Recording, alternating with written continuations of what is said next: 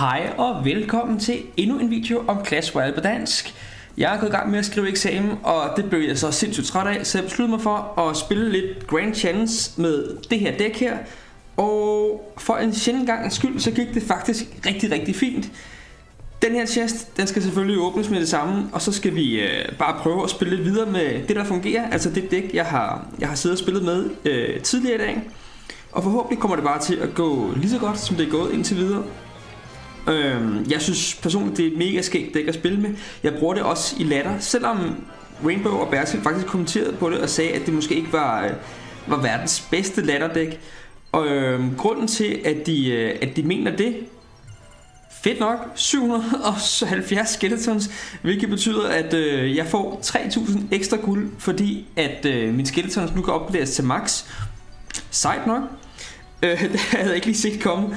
Men, øh, men grunden til, at det her dæk måske ikke lige passer til latter øh, på mit niveau, er, at Zap tager Goblin Barrel ud, Zap tager Goblin Gang ud, fordi jeg ikke har med max level, og det er selvfølgelig en lille smule irriterende. Det er heldigvis ikke tilfældet, når vi spiller, når vi spiller challenges, så lad os hoppe ud i det. Og øhm, jeg vil jo påstå, at det så gør det her dæk endnu stærkere, end det er i latter. Og eftersom jeg har slået personlig rekord i latter med det her dæk her, så øh, burde jeg også være relativt habil til at, at spille det. Jeg starter sådan set bare med, øh, med prinsessen her, for at vente og se, hvad min modstander gør. Eftersom han smider Goblin Barrel, så kunne jeg godt forestille mig på det her tidspunkt, at han har et, øh, et bait deck, altså lidt af det, som, øh, som jeg spiller. Jeg vil selvfølgelig også gerne have ham til at, øh, at bruge nogle, øh, nogle af de her øh, kort, så som, øh, som lock og så videre. Grunden til, at jeg spiller min skeleton til at forsvare med, det er fordi, at Goblin Gangen kan sagtens bruges offensivt også. Øhm, og derfor så vil jeg egentlig hellere forsvare lidt med Skeleton Army, når det, når det nu giver mening, end, øh, end at bruge min Goblin Gang allerede nu. Goblin Gang er stiger sted. Jeg ved godt, at hans princess får et enkelt skud på tårnet, men han skal så bagefter øh, deal med de her små irriterende goblins, som er, ja, mildt sagt relativt belastende. Men øh, ingen tvivl om, at han spiller med et, øh, et bait deck. Det vi lagde mærke til før var, at han, øh, at han kastede sin lock bag ved tårnet, eller undskyld, øh, han, kan, ja, han kaster sin lok bag ved tårnet. Jeg prøver så at, øh, at mixe mit spil lidt nu, og man kan se, at det giver rigtig, rigtig fint borte. Øh, så sindssygt nice. Vi skal så også være opmærksom på, at han godt kan lide at, øh, at placere sin lok øh, nogle andre steder, end, øh, end bare direkte... Øh, eller undskyld, han, han placerer sin goblin barrel andre steder, end bare lige, hvad kan man sige, på tårnet. Og lidt dumt af mig at spille min, øh, min goblin gang her. Heldigvis så kommer han stadig til at bruge noget, øh, noget elixir på at forsvare med. Og jeg har det egentlig fint nok med, hvis, øh, hvis hans knight får et slag eller to ind. Det gør egentlig ikke det store. Selvfølgelig vil jeg helst undgå det, men, øh, men jeg gider i hvert fald ikke bruge elixir på og, og forsvare imod det. Det fungerede super fint før at spille øh, lokken. Det prinsessen kommer, eller puh, det kører rigtig for mig med, øh, med de her navne Og At spille Goblin Barrel i det sekund, som, øh, så prinsessen kommer tæt nok på tårnet til, at han skal, øh, at han skal deal med den. Og her kan vi i hvert fald godt spille en, øh, en fireball. Jeg håber bare ikke, han har nogen minion horde. Det vil i hvert fald være lidt et problem, hvis han havde. Goblin Gang for at, uh, at presse ham lidt handel til at gøre noget ved det. Og indtil videre, så er det eneste deciderede offensiv kort, jeg har set, det er hans, øh, hans Goblin Barrel, og den har han godt nok ikke fået ret meget ud af på det her tidspunkt.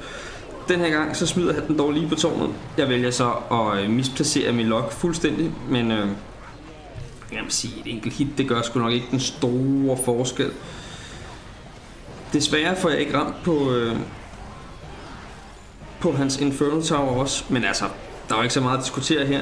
Den her, øh, den her den er hjemme, og jeg ved simpelthen ikke, øh, altså, enten så øh, har jeg bare counteret hans dæk fuldstændig vanvittigt, eller så har han bare prøvet at gøre det samme hele tiden. Altså, jeg kan, jeg kan ikke se, hvordan han nogensinde skulle komme til mit tårn, så længe han bare fortsætter med at gøre det samme og det samme og det samme. Det fungerede ikke for ham de første to minutter. Hvorfor skulle det så fungere for ham det sidste minut?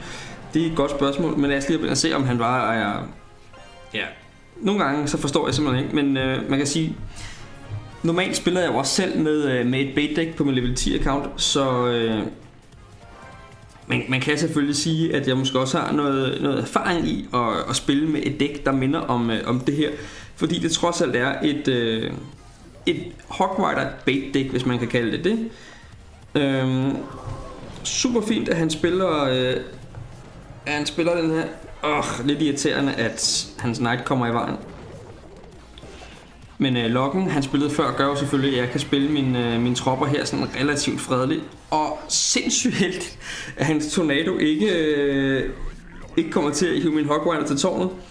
Øh, jeg synes selvfølgelig bare, det er rart, men, øh, men for ham er det selvfølgelig monster irriterende at se på. Og vi får countered hans, hans graveyard-spil rigtig, rigtig fint.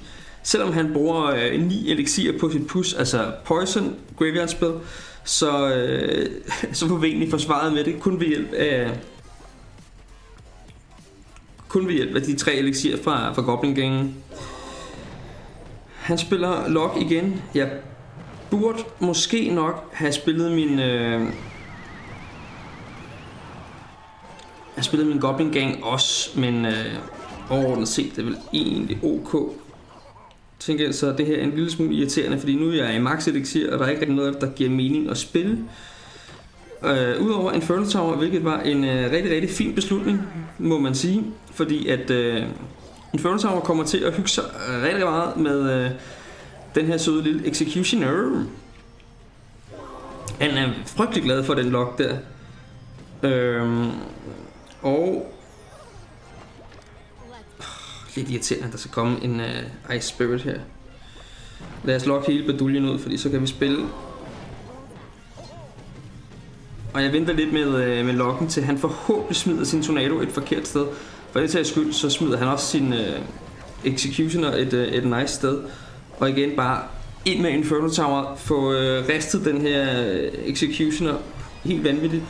Og han spiller med garanti Poison. Igen placerer min, uh, min Goblin Gang helt nede, sådan så den får lov at overleve i, i længst mulig tid i forhold til... Øh... Ej, øv. Men øh, lokken, super fint, tænker jeg. Eller, sejler fuldstændig med de her, øh, de her navne i dag. Og det her skal vi selvfølgelig have counteret så godt vi overhovedet kan. Og nu overvejer jeg, om jeg skulle til at, øh, at bruge Fireballen til at forsøge at vinde det spil her med, fordi at lige pt. kommer jeg sgu ikke rigtigt til hans tårn. Øh, lad os håbe, at han... Øh, ja. Jeg tror, vi er ude i, at vi kan, øh, at vi kan fyre en lok afsted og en... Øh, og en fireball, og det er forhåbentlig nok til at vinde det her spil her. Men altså, der skal fart på, kan man se nu, fordi at Nu er vi altså ved at være godt og grundigt nede. Princess, please skyd på tårnet, fireball, slam, og så er den stille og rolig hjemme. Men åh, oh, det, det holdt hårdt, den tornado imod det her dæk her. Det gør, det gør rigtig, rigtig ondt. Og så når han ovenikøbet også har, har lock, så er det ikke sindssygt sjovt at spille imod. Men vi overlevede, og det er sådan set det vigtigste. Og øh, man kan sige, indtil videre har vi, øh, har vi ikke mødt øh, noget R-dæk, og øh, eftersom at man... Øh, at man ikke har andet til er end Inferno Tower, Goblin Gangs, øh, Gob, hvad hedder, fanden hedder de nu? Øh, de her øh, Spare Goblins fra Goblin Gang, så er det her dæk måske ikke lige verdens bedste dæk til at, at forsvare imod R. Hogwarts placerer jeg her først og fremmest fordi, at, øh, at jeg ser hans, øh, hans Gollum, som jeg jo selvfølgelig gerne vil, øh, vil undgå, at han kommer til at bygge et kæmpestort push op med. Øhm, så i, i det med, at jeg ligesom spiller min... Øh, jeg spiller min Hogwarts, så er han nødt til at forsvare på, øh, på en eller anden måde. Fireball, please, go for it. Thanks, mate. Åh, uh, ikke helt nok. Okay. Af min arm. Det her, det betyder, at vi mister et tårn. Og øh, man må sige, det er en, øh, en ond, ond kombination. Princess kan forhåbentlig tage, tage sig af det meste her. Øhm, grunden til at vælger at spille Princess i det her tilfælde, det skyldes, at, øh, at jeg kan få value for den senere hen, og den kun koster et elixir mere end, øh, end lokken. Jeg har endnu ikke set... Øh, hov, jeg har endnu ikke set nogen log for hans vedkommende, så jeg prøver at satse lidt her på at spille øh, et øh, ret dyrt push, som øh, kan gå galt. Men Hogwarts han kommer til at tanke for de her, øh, for de her goblins, og øh, det gør sindssygt ondt på ham. Men vi skal slå om. Vi kan simpelthen ikke tabe til en, der, har, øh, der ikke har max level kort øh, i tournament standard. Det, det er ikke holdbart, øh, og, og mere er der ikke at sige til det. Derudover så er det også skidt for videoen at tabe, men øh, det er jo trods alt ikke det, der, hvad kan man sige, der er det vigtigste her. Det er, at, øh, at vi kommer videre i, øh, i den her Grand Challenge. Please slå dem alle sammen ihjel, øh, bare fordi det øh, kommer til at betyde noget. Og skeleton til at fjerne det her. Mega nice, at min princess lige om lidt begynder forhåbentlig at skyde på, øh, på den her minion horde her. Fireball på. Hvorfor dør den minion horde ikke bare? Åh, oh, fuck! Det er et ondt, ondt, ondt dæk, det der han er gang i. Overlev, tak. Øh, der er ikke så meget at diskutere. Nu skal den bare have en over nakken. Det bliver helt beduljen på én gang. Forhåbentlig går det. Men øh, jeg tvivler sgu stærkt på, at øh, vi får heddet den her i hus. Åh. Oh. Og Taber til en, der ikke har en max level kort. Ej. Det, det er ikke i orden. Det er simpelthen, det er simpelthen ikke i orden. Man må ikke give ham øh, ros for, øh, for hans spil, men... Men hvorfor skal jeg lige tabe? Jeg vil umiddelbart tro, at det kommer til at skyldes, at det kommer til at spille, øh, spille for defensivt. Det kommer til at op, han, han får råd til at opbygge et push med, øh, med Gollum og med, øh, og med de her satans øh, skeletons for graveyard-spillen, og det er bare ikke i orden, fordi at, øh, det er simpelthen ikke øh, mulighed for at forsvare imod. Så øh, det kommer nok til at koste spillet. Vi prøver lige en til, selvom jeg egentlig kun havde tænkt at, at spille tre. Men altså, vi har trods alt formået at få, øh, få 12-0 med, eller 12-0, 12 wins med det her dæk her. Så øh, forhåbentlig kan vi, kan vi redde vores ære bare en lille bitte smule. Det er jo så det, der går hen og bliver rigtig, rigtig skidt, hvis man så taber det her spil her. Så det må bare ikke ske, fordi så kommer man til at ligne en, øh, en tosse. Jeg synes heller ikke, jeg er heldig. I det sekund, jeg placerer min, øh, en skeleton army, der øh, kommer han med et stykke poison. Og det er bare voldsomt irriterende. Heldigvis så vælger min øh, goblin så at bakke mig en lille smule op, sådan så jeg kan... Så jeg ikke behøver at koncentrere mig om det der lidt Jeg smider goblin barrel for langt, fordi jeg havde håbet på, at han havde en øh, lock, som han øh, så gerne ville bruge.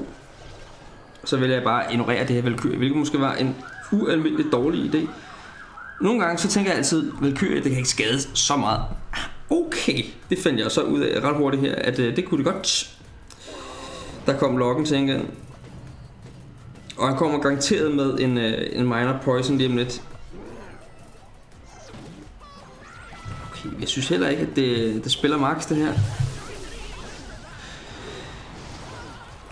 Lidt value på fireballen, men slet ikke nok til, at, uh, at det bliver sjovt at møde den poison, der forhåbentlig, formentlig, altså nu siger jeg forhåbentlig, det er jo ikke tilfældet, formentlig kommer der. Ej, nej, nej, Louis. Prøv at høre, tilbage til eksamensprojektet. Det holder, det holder ikke en meter, det her.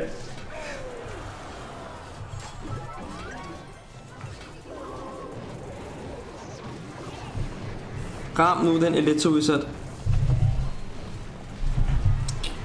frustrationen, de, øh, ja, de håber sig op. Og jeg er millimeter fra at øh, tabe et andet spil i streg i en Grand Chance, hvilket er ualmindelig almindelig ringe, og du placerer også en Goblin Barrel forkert. Det får formentlig ikke den store betydning. Øh, lidt mere tak, sådan der. Jeg ved godt, at han kommer til at skade på mit tårn, men... Øh, og jeg bagefter placerer hele min skeletonarm direkte i skannen på hans poison. Det tyder også bare på, at øh, tingene ikke fungerer for mig lige nu. Men vi har trods alt stadig en, øh, en chance til at lave en lille comeback her. Hver eneste gang, at jeg placerer noget, og så synes jeg, at han rammer det lige i skallen.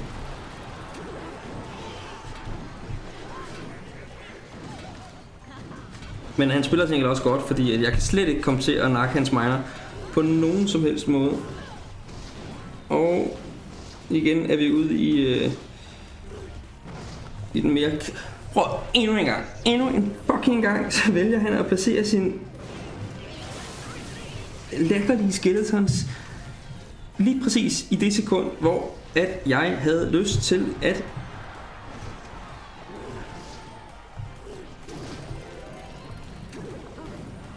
Og han har poison. Tak. Jeg har stadig en, øh, en lille mulighed tilbage for at, øh, at vinde det spil her. Men øh, så skal vi godt nok spille godt.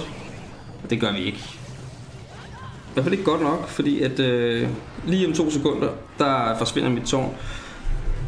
World place. Og øh, jeg sidder tilbage her med en øh, lidt tom fornemmelse. Jeg troede, jeg skulle hygge mig.